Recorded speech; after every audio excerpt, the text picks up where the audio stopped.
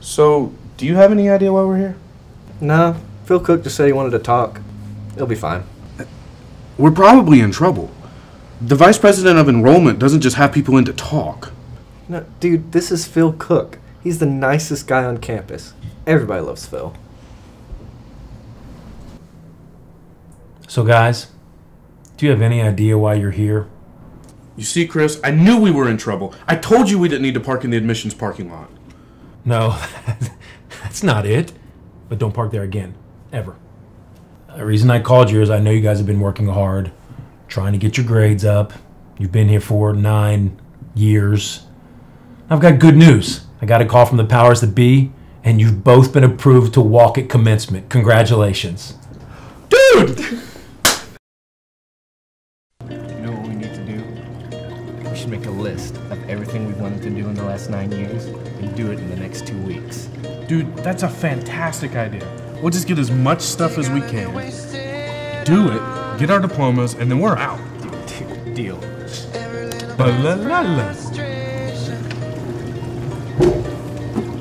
Take of so-called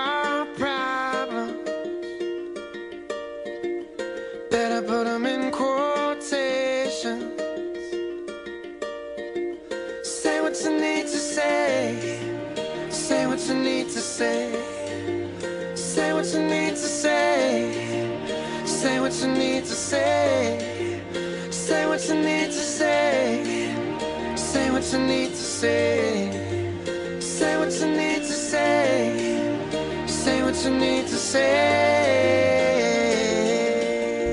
Hey, Hey, how you doing? good. About to graduate in a couple weeks. Congrats.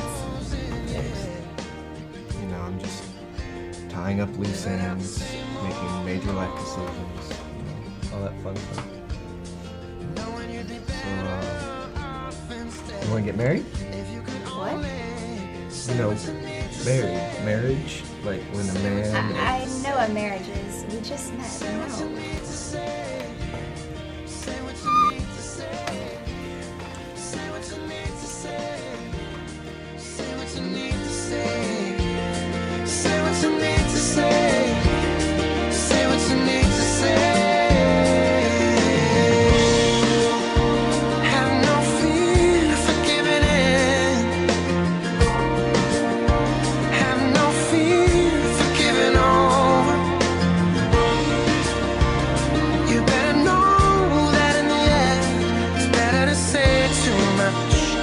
Than never to say.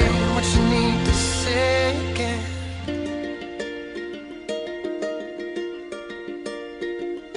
Even if your hands are shaking. And your faith is broken, even as the eyes are closing, do it with a heart wide